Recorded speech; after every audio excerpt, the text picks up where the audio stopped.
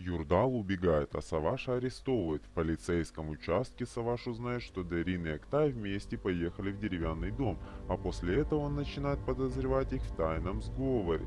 На этот раз Юрдал по-другому заплатит Актаю за досье. Все выглядит так, словно план сработает безупречно, однако они не учли Саваша. Он на грани того, чтобы доказать Мирием, что Октай взял взятку. К тому же в этот раз он представит перед Мирием все доказательства.